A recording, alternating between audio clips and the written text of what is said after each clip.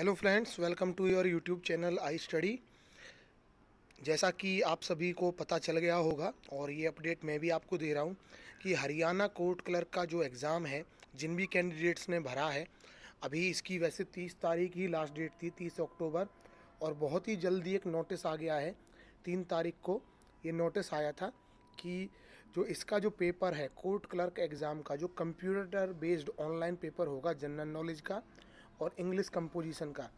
ये 22, 23 और 24 को होने वाला है पंजाब हरियाणा न्यू दिल्ली और यूटी चंडीगढ़ में। जहाँ जहाँ जिनके कैंडिडेट्स के सेंटर बनेंगे या प्रेफरेंस उन्होंने जो भी भरी है।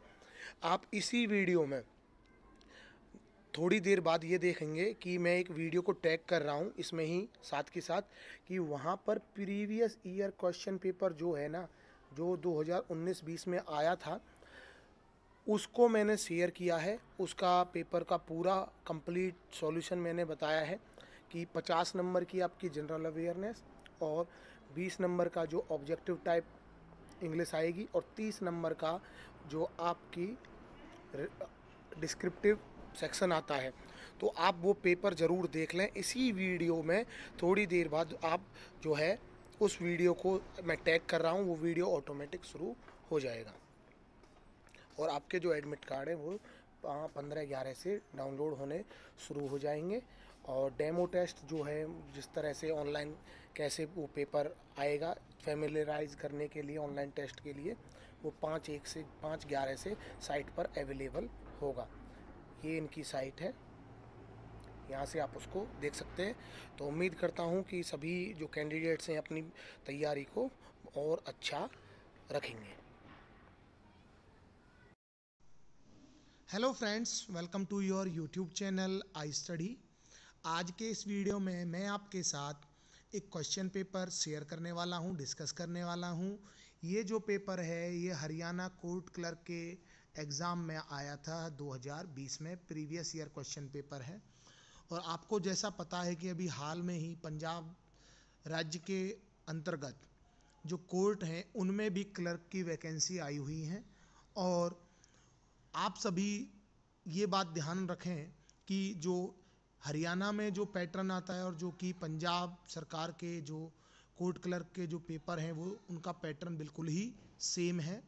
बस थोड़ा सा अंतर है कि कुछ क्वेश्चन वहाँ पंजाब से रिलेटेड आएँगे और जैसे कि इस पेपर में कुछ क्वेश्चन हरियाणा से रिलेटेड आए थे। इसमें पार्ट ए और पार्टी पार्ट बी दो हैं। पार्ट ए में ऑब्जेक्टिव टाइप क्वेश्चन हैं। और पार्ट बी में डिस्क्रिप्टिव बेस्ड जो क्वेश्चन है। तो आइए शुरू करते हैं। पहला जो क्वेश्चन है इंग्लिश में ही आता है ये पेपर इंग्लिश मीडियम में आता है। Guarantee to an exporter that the importer of his goods will pay immediately for the goods ordered by him is known as letter of credit option A Guwahati high court is the judicature of तो जो Guwahati high court है, वो आता है, उसके अंदर नागालैंड, अरुणाचल प्रदेश और असम, ये सब आते हैं। Fire temple is the place of worship और which of the following religion. Fire temple कौन सा वर्सिप किसका वर्सिप प्लेस होता है, कौन से धर्म के लोगों का तो जो, जोरो जोरोस्ट्रियनिज्म जो है, इसके जो लोग हैं, इसके जो, इसका जो वर्सिप करते हैं, उनके प्लेस को फायर टेंपल कहा जाता है। वर्शिप प्लेस को। First China war was fought between तो इसका जो सही आंसर है, वो है China and Britain fifth question Georgia Uzbekistan Turkmenistan became the members of UNO in the year of 1992 आप एक बात और याद रखें कि इसमें नेगेटिव मार्किंग होती है। 70 क्वेश्चन जो हैं आपके ऑब्जेक्टिव टाइप में। पेपर वन में 50 क्वेश्चन आपके आएँगे जनरल अवेयरनेस से 20 क्वेश्चन आपके ऑब्जेक्टिव टाइप आएँगे इंग्लिश से, और बाकी के जो 30 नंबर का जो पेपर है, वो आपका डिस्क्रिप्टिव बेस्ड है, वो हम अभी देखेंगे। During world war two when did Germany attack तो इसका आंसर है option number A in 1940 escape velocity of a rocket fired from the earth towards the moon is a velocity to get rid of the, इसका जो सही answer है to get rid of the earth's gravitational pull आठवां question है for seeing objects at the surface of water from a submarine under water the instrument use is जब submarine पानी के अंदर होती है तो वहाँ उस सरफेस वाटर में, उस पानी में चीज़ों को देखने के लिए जो इंस्ट्रूमेंट यूज़ किया जाता है that is known as periscope G fifteen is an economic grouping of G fifteen जो है, वो एक इकोनॉमिक ग्रुप है किसका? थर्ड वर्ल्ड नेशंस का. हिमालयन माउंटेनियरिंग इंस्टीट्यूट कहाँ पर है? It is situated in Darjeeling Eleventh question the minimum age to qualify for election of the Lok Sabha age 25 years. The members of Rajya Sabha are elected for a term of six year.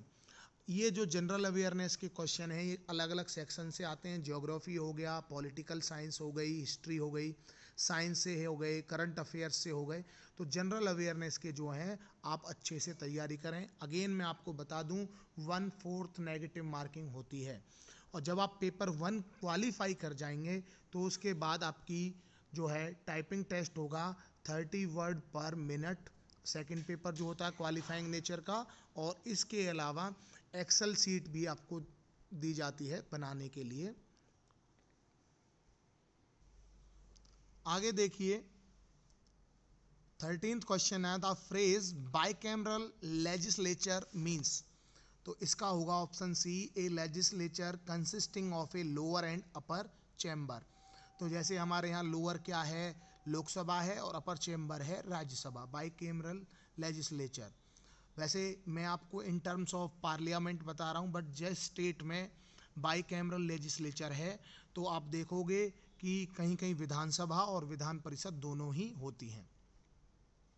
The power of supreme court of India to decide dispute between the center and the state falls under its.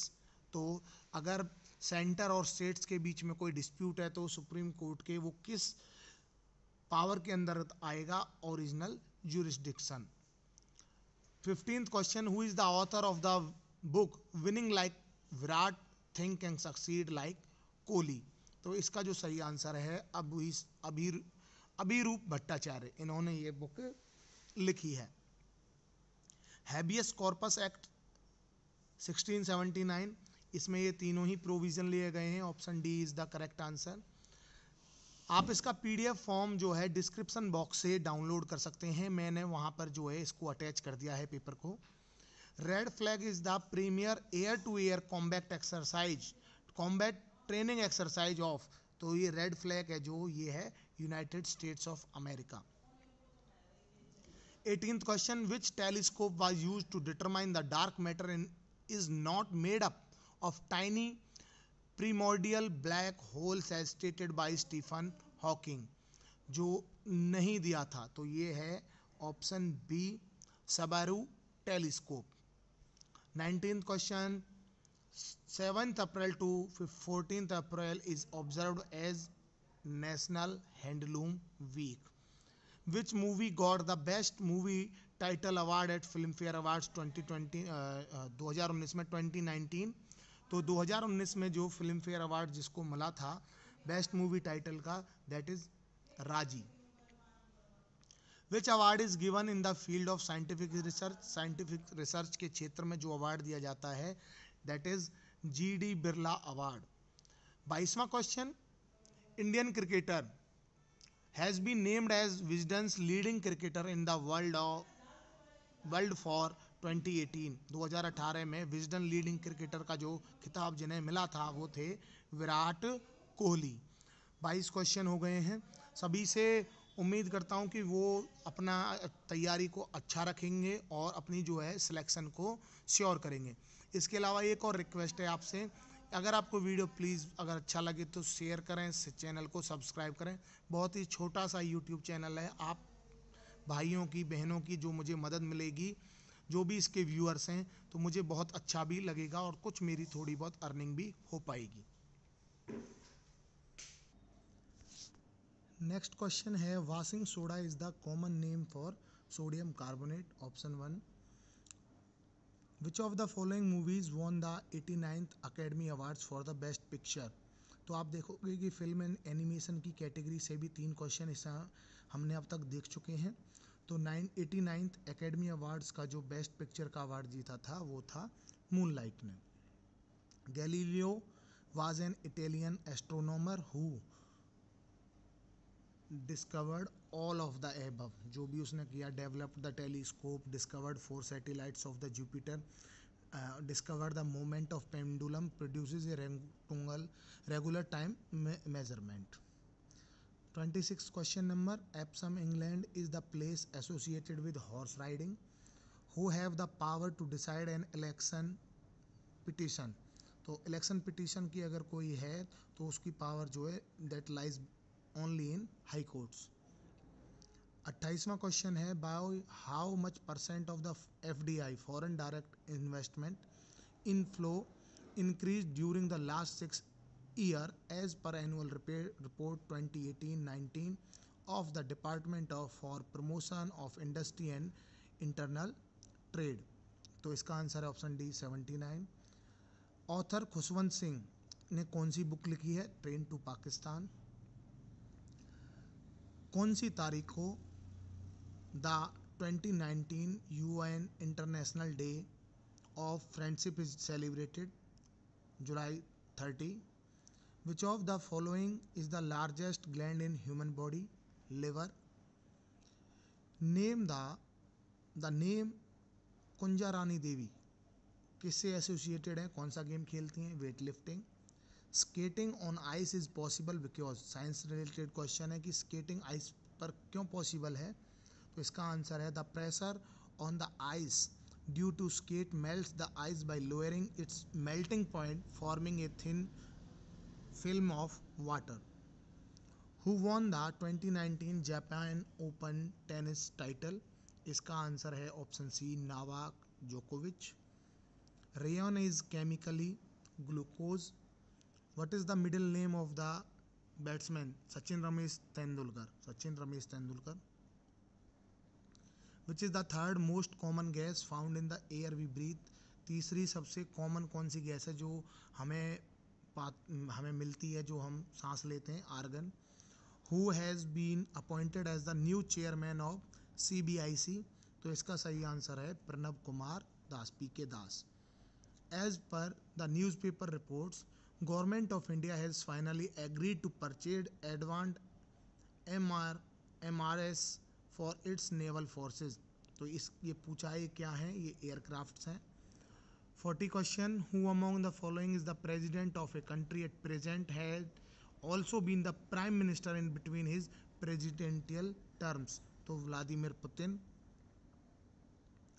who among the following can remove the governor of a state from office कि राज्यपाल को कौन हटा सकता है तो इसका answer है president in which among the following cases the supreme court of india propounded the theory of basic structure of constitution Kesavananda Bharati. और ये आज तक की सबसे अकेला ऐसा केस है जिसको आज तक के सबसे ज़्यादा जजों ने एक साथ चेयर करके सुना है। तैतालीसवां क्वेश्चन है in which year Goa was formally assimilated in the territories of India by twelfth amendment act which made Goa Daman Diu a U T union territory option D 1963 Who among the following signed the Treaty of Basin in 1802 with British East India Company? तो इसका answer है बाजीराव द्वितीय। Which among the following was the first municipal corporation set up in the year 1687 तो सबसे पहले कौन सा municipal corporation सोलह में भारत में स्थापित किया गया? That is Madras municipal corporation इसके बाद है कि जो चंद्रशेखर आज़ाद हैं, उनकी जो है मात कैसे कह सकते हैं कि उनका जो है मातृत्व दिवस कब मनाया जाता है तो वो है 27 फरवरी 1931 ठीक है, शहीदी दिवस। When is the international day of eradication of poverty observe every year seventeen of October Amnesty International is an organization associated with which of the following fields protection of human rights which of the following five year plans recognize human development as the core of all developmental efforts eighth five year plan इसके बाद fifty question last question है general awareness के section का grand central terminal park avenue New York is the world's largest railway station ठीक है?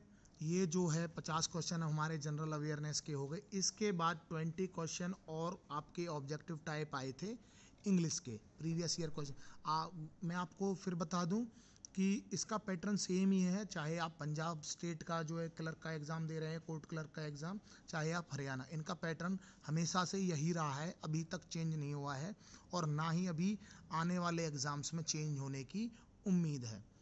तो देखिए, ये कुछ लॉजिकल क्वेश्चन थे कि select the combination of number so that the letters arranged accordingly will form a meaningful word तो कैशल ये हो गया, इसमें फेमाइन हो गया इसके बाद है, कुछ ईडियम थे to fly off the handle to lose one's temper अपना आपा खो देना a green horn a envious lady hard pressed hard pressed me in difficulties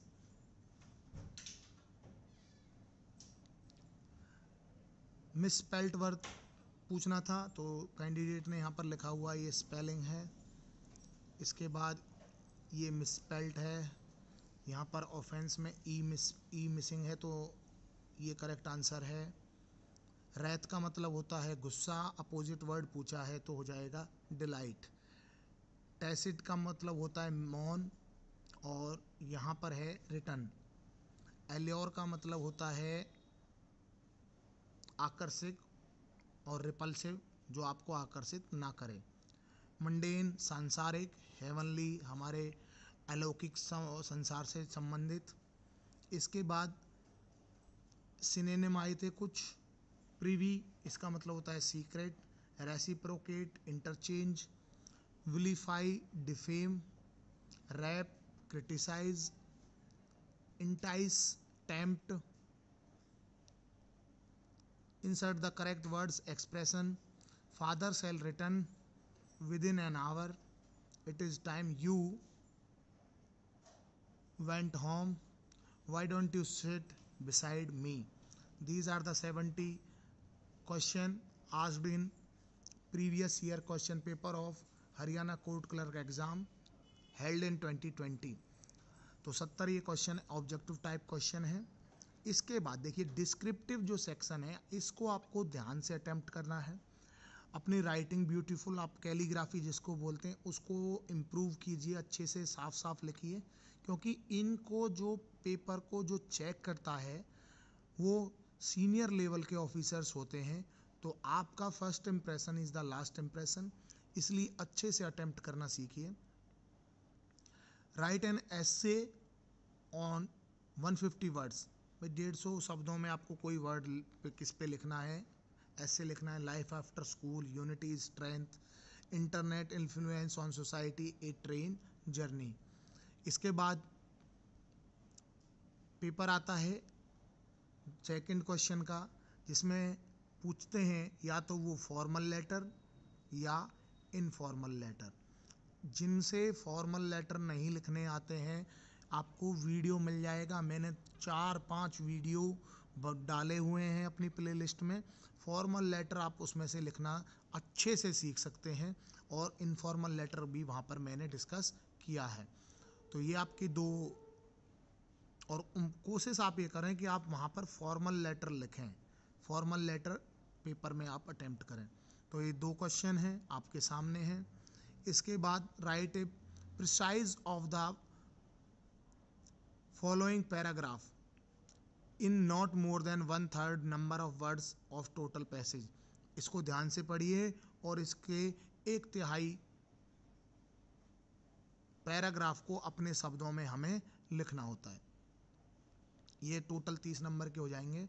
और देखिए, ट्रांसलेशन आता है Hindi to English. Hindi to English, ये भी आपका पाँच नंबर का होता है। तो आपके तीस क्वेश्चन तीस नंबर हो गए आपके डिस्क्रिप्टिव से और सेवेंटी आपके हो गए ऑब्जेक्टिव टाइप से। हंड्रेड मार्क्स का ये पेपर होता है।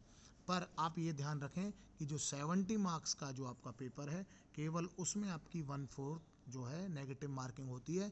डिस्क्रिप्ट में वो एप्लीकेबल नहीं होती क्योंकि डिस्क्रिप्शन डिस्क्रिप्टिव पेपर है।